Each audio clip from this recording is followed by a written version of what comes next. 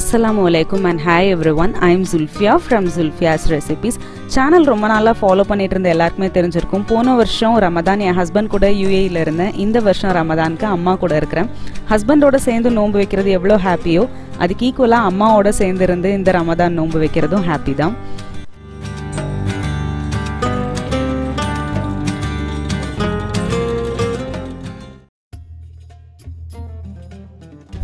Ramadan start ஆனதுலேருந்து நிறைய பேர் என்கிட்ட டேன் மை லைஃப் வ்ளாக் மாதிரி கேட்டிருந்தீங்க.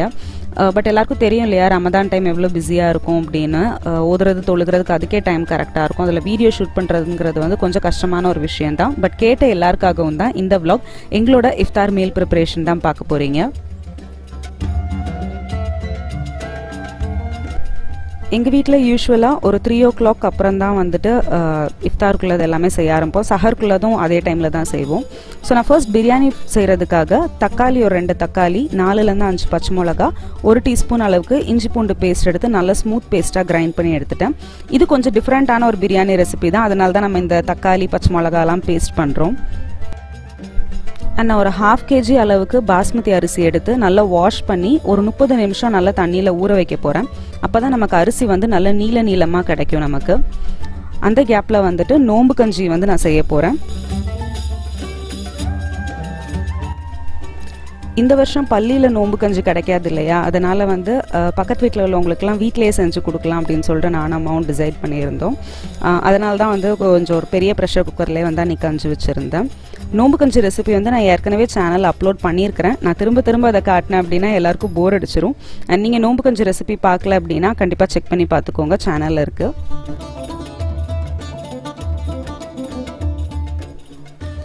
எல்லா வருஷமும் நமக்கு பள்ளியிலேயே நோம்பு கஞ்சி கிடைக்கிறதுனால இந்த நோம்பு கஞ்சி வைக்கிற வேலை வந்து கொஞ்சம் மிச்சமாக இருக்கும். பள்ளியிலேருந்து வந்துடும் நோம்பு கஞ்சி. நம்ம ஏதாச்சும் மசால் வடையோ இல்லை சமோசாவோ ஏதாச்சும் வீட்டில் செஞ்சால் போதும். பட் இப்போ வந்து நோம்பு கஞ்சி செய்கிறதுக்காகவே ஒரு பதினஞ்சுலேருந்து இருபது நிமிஷம் வந்து அலாட் பண்ண வேண்டியதாக தான் இருக்குது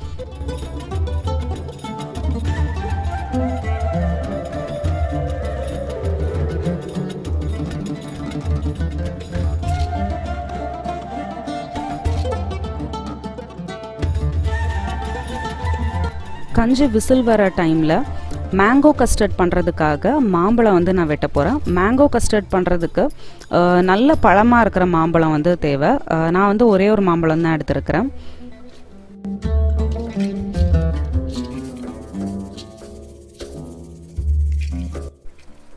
இது வந்து வீட்டு முன்னாடி வந்து விற்க வந்திருந்தாங்க இது. ஆட்டோவில் வச்சு விற்க வந்திருந்தாங்க. அவங்கள்ட்ட வாங்கினது தான் இது ஒரு கிலோ வந்து அறுபது ரூபா தான். பட் மாம்பழம் வந்து செம ஸ்வீட்டாக இருந்துச்சு இது. அதுவும் வந்து இந்த மாதிரி நம்ம புட்டிங் செய்கிறதுக்கு கீர் செய்கிறதுக்கு அதுக்கெலாம் வந்து நல்ல சூட்டபிளான மாம்பழம் இது. மாம்பழம் ஸ்கின் எல்லாம் நம்ம பீல் பண்ணதுக்கப்புறமா சின்ன சின்ன பீஸாக வந்து கட் பண்ணி எடுத்து வச்சுருக்கிறேன். அண்ட் மீன் வைல் இந்த சைட் பார்த்தீங்கன்னா கஞ்சி ரெடி ஆயிடுச்சு ஸோ அதுக்கு தேங்காய் மட்டும் அரைச்சி ஊற்றி இன்னொரு டைம் நல்லா பாயில் பண்ணி வச்சிடுவேன்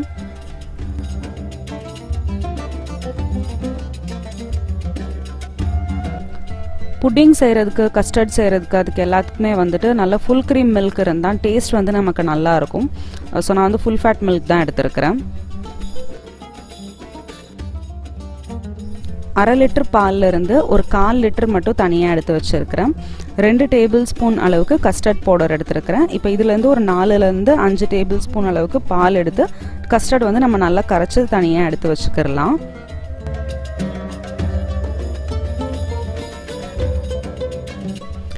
இப்போ ஒரு பாத்திரத்தில் நம்ம எடுத்து வச்சுருந்தோம் இல்லையா பால்? அதை வந்து ஊற்றிருக்கிறேன் இது வந்து நல்லா பாயில் பண்ணிக்கிறலாம் நம்ம.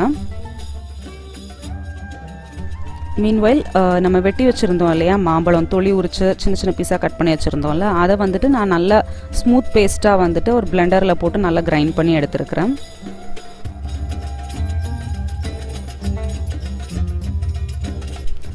பால் நல்லா சூடாகி வரவும் ஒரு அரை கப் அளவுக்கு சீனி வந்து சேர்த்துருக்குறேன். சீனி சேர்த்ததுக்கப்புறமா நல்லா மிக்ஸ் பண்ணி விட்டுருங்க. பால் நல்லா பொங்கி வரட்டும். பால் நல்லா பொங்கி வந்ததுக்கப்புறமா நம்ம கரைச்சி வச்சுருந்தோம் இல்லையா கஸ்டர்ட் அதை வந்து ஊற்றிடலாம் கஸ்டர்ட் ஊற்றுனதுக்கப்புறமா நல்லா இப்படி கிண்டிகிட்டே இருக்கணும். இல்லை அப்படின்னா வந்து கட்டி விழுந்துரும். ஸோ இந்த அளவுக்கு ஒரு ஸ்மூத் டெக்ஸ்டர் நமக்கு கிடச்சதுக்கப்புறமா அதை எடுத்து இன்னொரு பவுலில் ஊற்றி நம்ம நார்மல் ரூம் டெம்பரேச்சருக்கு வந்து எடுத்துகிட்டு வந்துடலாம். இப்போ இதில் வந்துட்டு நம்ம பேஸ்ட் பண்ணி வச்சுருந்தோம் இல்லையா மாம்பழம்? அதை வந்து சேர்த்துட்டு நல்லா மிக்ஸ் பண்ணி எடுத்துக்கோங்க. நீங்கள் என்ன ஆனால் இன்னொரு விஷயம் என்ன அப்படின்னா என்ன நீங்கள் மிக்ஸ் பண்ணாலுமே வந்து சின்ன சின்ன பீஸாக வந்து அந்த மாம்பழம் வந்து சின்ன சின்ன கட்டியாக இருக்கும். ஸோ இது சர்வ் பண்ணுறதுக்கு முன்னாடி ஒரு டைம் பிளெண்டரில் போட்டு நல்லா பீட் பண்ணிவிட்டு சர்வ் பண்ணலாம். இப்போ இதை வந்து நான் எடுத்து ரெஃப்ரிஜரேட்டரில் ஃப்ரிட்ஜில் வந்து வச்சிடுறேன். நம்ம பிரியாணி செய்கிறதுக்கு வந்துட்டு அரிசி வந்து ஒரு முப்பது நிமிஷம் ஊற வச்சுருந்தோம் இல்லையா? இப்போ பிரியாணி வந்து செய்ய ஸ்டார்ட் பண்ணிடலாம். ஒரு பாத்திரத்தில் வந்துட்டு நல்ல ஒரு ஒன்றுலேருந்து ஒன்றரை லிட்டர் அளவுக்கு வந்து தண்ணி எடுத்துருக்கிறேன்.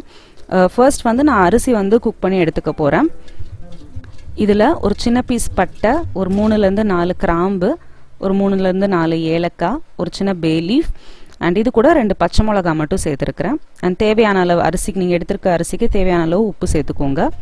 தண்ணி நல்லா கொதிச்சு வரும்போது இதில் நம்ம ஊற வச்சுருந்தோம் இல்லையா அரிசி ஒரு முப்பது நிமிஷம் ஊற வச்சுருந்தேன் பாஸ்மதி அரிசி. ஸோ அதை வந்து இதில் சேர்த்துருக்குறேன்.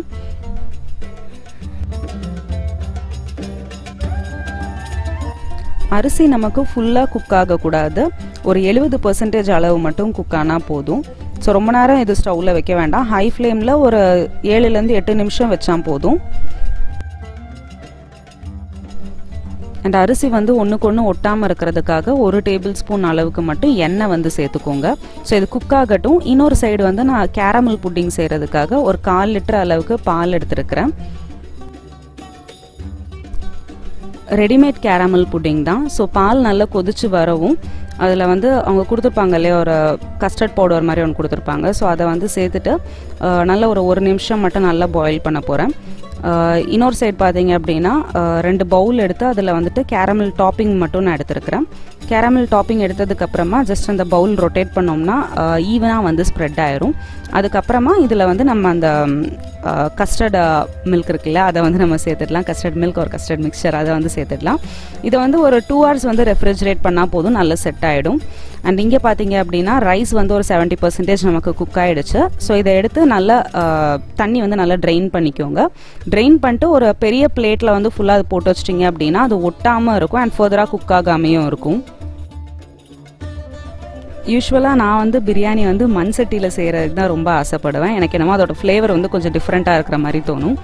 ஸோ uh, பாத்திரம் நல்லா சூடானதுக்கப்புறமா நெய் ஒரு ரெண்டு டேபிள் ஸ்பூன் அளவுக்கு நெய்யும் ஒரு அஞ்சுலேருந்து ஆறு டேபிள் ஸ்பூன் அளவுக்கு uh, குக்கிங் ஆயிலும் எடுத்துருக்கிறேன். எண்ணெய் சூடானதுக்கப்புறமா இதில் ஒரு ரெண்டுலேருந்து மூணு வெங்காயம் நல்ல தின் ஸ்லைஸாக கட் பண்ணி எடுத்துருக்கிறேன். அதை வந்து சேர்த்துருக்கிறேன். வெங்காயம் வந்து நல்லா ப்ரௌன் ஆகட்டும். நான் யூஸ்வலாக செய்கிற பிரியாணி ரெசிபியை விட இது வந்து ரொம்பவே டிஃப்ரெண்ட்டான ஒரு ரெசிபி தான். பட் டேஸ்ட் வந்து எக்ஸ்ட்ரீமாக இருந்துச்சு. பயங்கர சூப்பராக இருந்துச்சு இது. அண்ட் இன்னொரு சைட் பார்த்தீங்க அப்படின்னா பிரியாணிக்காக பாலில் வந்து கொஞ்சமாக குங்குமப்பூ வந்து ஊற வச்சுருக்கிறேன். வெங்காயம் நல்லா ப்ரௌன் ஆகிடுச்சு ஸோ அதில் ஒரு டீஸ்பூன் வந்து இஞ்சி பூண்டு பேஸ்ட் சேர்த்து இஞ்சி பூண்டு பேஸ்ட்டோட பச்சை வாசனை போகிற வரைக்கும் குக் பண்ணிக்கிறலாம். அண்ட் இதில் வந்துட்டு நம்ம பிகினிங்கில் வந்து நான் காட்டியிருந்தேன் இல்லையா? தக்காளி பச்சை மிளகா இஞ்சி பூண்டு பேஸ்ட் அதை வந்து நான் அரைச்சி வச்சுருந்தேன் அப்படின்னு. ஸோ அதை வந்து இதில் சேர்த்துட்டு நல்லா நம்ம மிக்ஸ் பண்ணிடலாம். தக்காளி வந்து நீங்கள் சேர்த்ததுக்கப்புறமா நல்லா குக் ஆகட்டும்.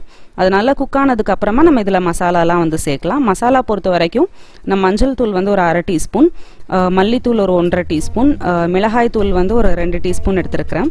அண்ட் பிரியாணி மசாலா ஒரு டீஸ்பூன். இதை மட்டும் சேர்த்து இந்த மசாலா வந்து நல்லா குக் ஆகட்டும். நல்லா எண்ணெய் பிரிஞ்சு வரட்டும். இதில் வந்துட்டு நான் ஒரு முக்கால் கிலோ அளவுக்கு சிக்கன் வந்து எடுத்துருக்கிறேன்.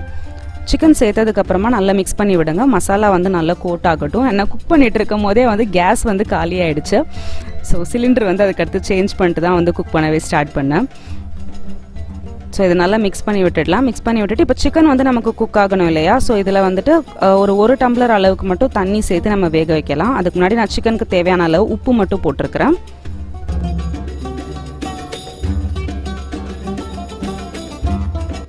சிக்கன் குக் ஆகுறதுக்கு வந்து ரொம்ப நேரம் தேவைப்படாது. ஒரு பதினஞ்சு நிமிஷம் நீங்கள் கழிச்சு பார்த்தீங்கன்னா சிக்கன் வந்து நல்லா குக் ஆகிருக்கும் இதுலேருந்து நான் ஒரு பாதி கிரேவி மட்டும் ஒரு பவுலில் தனியாக எடுத்து வச்சுருக்கிறேன். லேயர் பண்ணுறதுக்காக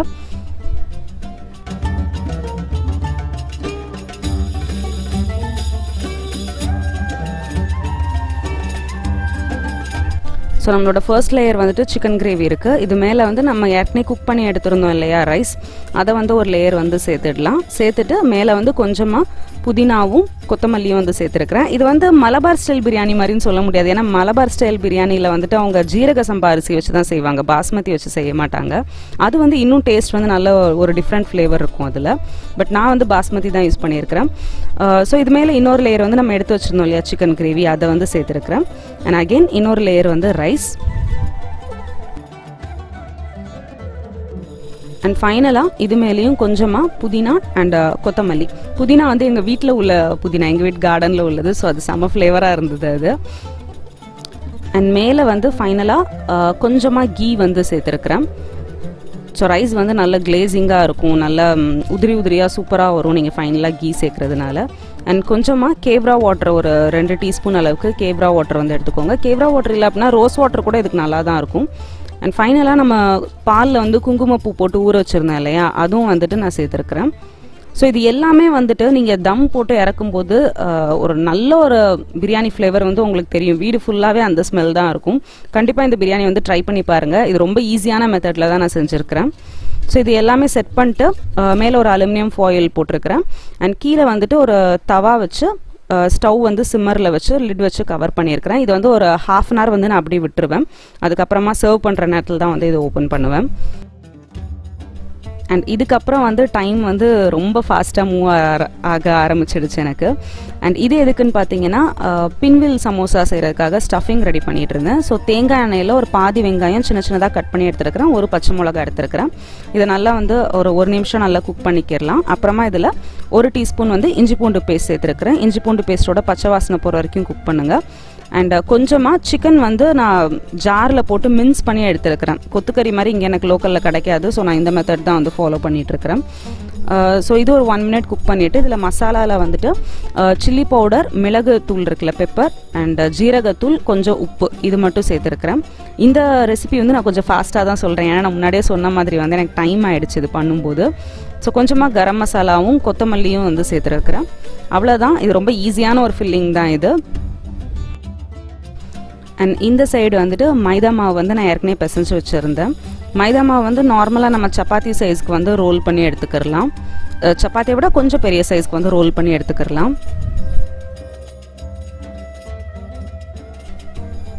இதில் வந்துட்டு நம்ம ரெடி பண்ணி வச்சுருக்கிற ஃபில்லிங் வந்து எடுத்துக்கலாம் இந்த ஃபில்லிங் வந்துட்டு நம்ம நார்மலாக செய்கிறோம்ல சமோசா அதுக்கு கூட நீங்கள் யூஸ் பண்ணிக்கலாம். இல்லை ஸ்ப்ரிங் ரோலுக்கு கூட வந்து இந்த ஃபில்லிங் வந்து நீங்கள் யூஸ் பண்ணிக்கலாம். இது வந்து ஒரு மல்டி பர்பஸ் ஃபில்லிங்னு கூட சொல்லலாம். Um, ஸோ இதை நல்லா ஃபில் பண்ணிட்டு இது இப்போ வந்து நம்ம ரோல் பண்ண ஸ்டார்ட் பண்ணிடலாம்.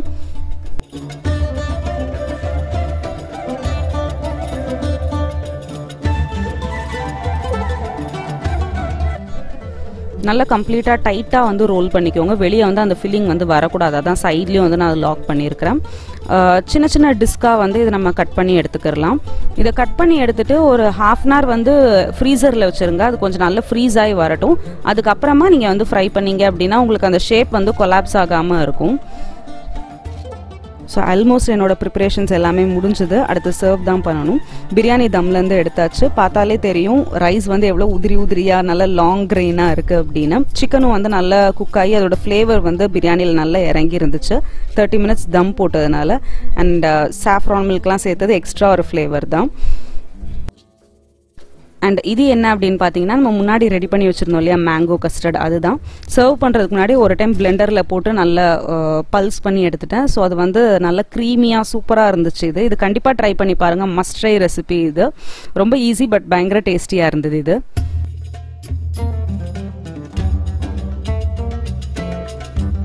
ஃபர்ஸ்ட் டேபிள் அரேஞ்ச் பண்ணும்போது வீட்டில் காய்ச்ச பப்பாளி அது. அதுவும் நாட்டு மாதுளை. அதனால தான் அது ரெட் கலரில் இல்லை. கலர் வந்து டல் கலராக இருக்குது ஸோ அது ஃப்ரூட்ஸில் வந்து அது ரெண்டும் எடுத்திருந்தேன். அண்ட் தென் மேங்கோ கஸ்டர்ட் அதுக்கப்புறமா நம்ம ரெடி பண்ணி வச்சுருந்த ரைஸ் இது வந்து இஃப்தார் முடிஞ்சு தொழுதுட்டு ஓதிட்டு அதுக்கப்புறம் டின்னருக்கு வந்து கரெக்டாக இருக்கும் அது சாப்பிடும்போது. அண்ட் இது வந்து என்னென்னு பார்த்தீங்கன்னா கேராமல் புட்டிங் அதுவும் நல்லா செட் ஆகிடுச்சு அண்ட் இது வந்து நோம்பு கஞ்சி.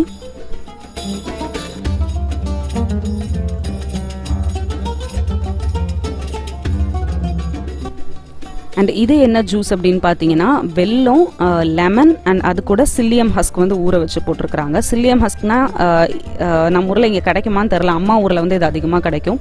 அது நம்ம நோம்பு திறந்து குடிக்கும் போது வந்து பாடி வந்து ஃபுல் கோல்டாயிரும் அது. நான் அதோட தமிழ் நேம் வந்து முடிஞ்சால் நான் சர்ச் பண்ணி நான் கமெண்ட்டில் பின் பண்ணுறேன் ஸோ இதெல்லாம் தான் நாங்கள் அன்றைக்கி இஃப்தாருக்கு ரெடி பண்ணியிருந்த டிஷ்ஷஸ் இஃப்தார் அப்படின்னாலே வந்து டேட்ஸ் இல்லாமல் எப்படி நோம்பு திறக்கிறது? ஸோ டேட்ஸும் uh, வந்து இன்னொரு பவுலில் நான் எடுத்து வச்சுருக்கிறேன். சிக்கன் பிரியாணி இருக்குது கொஞ்சம் ஃப்ரூட்ஸ் நோம்பு கஞ்சி மேங்கோ கஸ்டர்டு அதுக்கப்புறம் வந்து இந்த ஜாகரி போட்டு செஞ்சுருந்த அந்த ஜூஸ் பின்வில் சமோசா கேரமல் புட்டிங் இதெல்லாம் தான் இருக்குது பட் எல்லா டைமும் பார்த்தீங்கன்னா நோம்பு திறந்ததுக்கு அப்புறமா நம்ம இந்த சாப்பிட்ற ஃபுட்டெல்லாம் வந்து டைஜஷனுக்கு வந்து ரொம்ப பிரச்சனையாக இருக்கும். ஸோ அதெல்லாம் சால்வ் பண்ணுறதுக்காக தான் வந்துட்டு நாங்கள் வீட்டில் வந்துட்டு ஒரு கஷாயம் ஒன்று செய்வோம். நாங்கள் லெமன் அதெல்லாம் போட்டு. ஸோ அந்த கஷாயம் ரெசிபி நான் உங்கள்கிட்ட ஷேர் பண்ணியிருக்கிறேன். ஸோ இந்த கஷாயம் குடிக்கிறதுனால வந்துட்டு இந்த டைஜஷன் ரிலேட்டடான ப்ராப்ளம்ஸ் வராது. அண்ட் அது போக வந்துட்டு நம்ம நோம்பு திறந்து உடனே கூலாக வந்து இந்த புட்டிங் அதுக்கப்புறம் ஜூஸ் அதெல்லாம் குடிக்கிறோம்ல. ஸோ அதனால் வந்து சளி பிடிக்காமையும் இருக்கும். லெமன் வந்து நல்லா வாஷ் பண்ணிட்டு தொளியோட கட் பண்ணுங்கள் அந்த ஸ்கின்னோட கட் பண்ணி ஒரு லிட்டர் அளவுக்கு தண்ணி எடுத்துருக்கிறேன். அதில் வந்துட்டு இந்த லெமன் சேர்த்துடலாம். அண்ட் அதுக்கப்புறமா மிளகு ஒரு ஒரு டேபிள் ஸ்பூன் அளவுக்கு மிளகு எடுத்து மிளகு வந்து நம்ம நல்லா ஃபஸ்ட்டு இடிச்சுக்கிறலாம்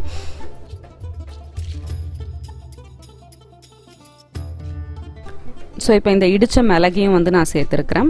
அண்ட் uh, இது கூட வந்துட்டு ஒரு சின்ன பீஸ் இஞ்சி uh, அதனால் ஸ்கின் மட்டும் எடுத்துருக்கிறேன். எடுத்துட்டு இஞ்சியும் வந்து நல்லா இடித்து இதில் சேர்த்துடலாம்.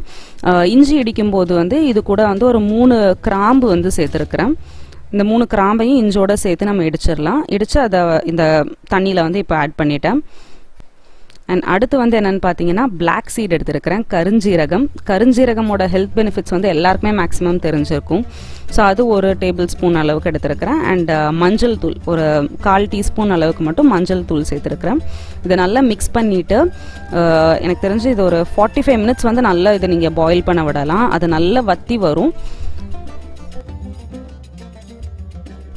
ஸோ இது நல்லா கலர் சேஞ்ச் ஆகிடுச்சு பார்த்தீங்களா இதை ஆஃப் பண்ணிவிட்டு ஃபில்டர் பண்ணி நம்ம எடுத்து வச்சுக்கலாம் டெய்லி ஒரு ஐம்பது எம்எல் இது குடித்தா போதும். எந்த ப்ராப்ளமே உங்களுக்கு வராது. ஸோ உங்கள் எல்லாருக்கும் இந்த விளாக் வந்து பிடிச்சிருக்கும்னு நினைக்கிறேன். பிடிச்சிருந்தா கண்டிப்பாக லைக் பண்ணுங்கள் அண்ட் உங்களோட தாட்ஸ் வந்து கமெண்ட்டில் ஷேர் பண்ணுங்கள் தேங்க்யூ ஸோ மச்